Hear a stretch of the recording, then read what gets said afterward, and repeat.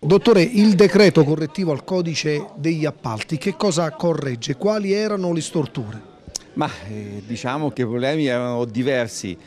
Eh, adesso in due parole è difficile dire ehm, quali siano le principali novità, però certo che ve ne, sono, ve ne sono diverse. Una in particolare per gli enti più piccoli riguarda quella dell'affidamento diretto, quindi per importo inferiore a 40.000 euro c'è da capire come possa, essere, come possa essere effettuato questo affidamento diretto. Un'altra novità importante è quella che riguarda le tariffe progettuali per i progettisti eh, la tariffa è quella, deve essere, deve essere rispettata e deve essere posta a base di gara per un affidamento. Poi vi sono molte altre novità, ma così in due parole non è facile diciamo, eh, condensare.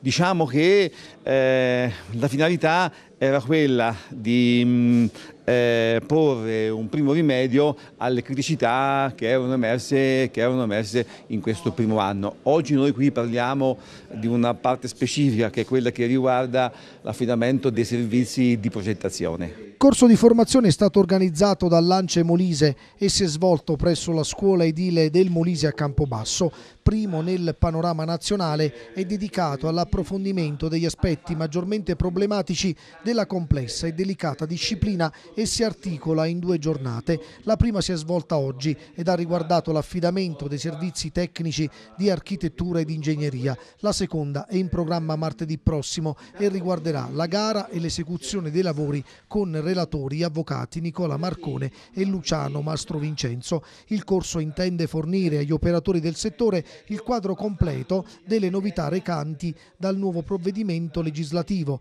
in vigore dal prossimo 20 maggio. Il corso intende fornire agli operatori del settore il quadro completo delle novità che arrivano dal nuovo provvedimento legislativo in vigore dal prossimo 20 maggio, un settore, quello dell'edilizia, il cui rilancio è legato in maniera indissolubile alle opere pubbliche. Problemi ce ne sono in, quanto bisognerebbe far ripartire finalmente il mercato delle opere pubbliche e per questa finalità eh, il correttivo dovrebbe dare, la finalità del correttivo è dare norme più snelle, più efficaci che, mh, mm, che consentano questo diciamo, riavvio di questo mercato delle opere pubbliche.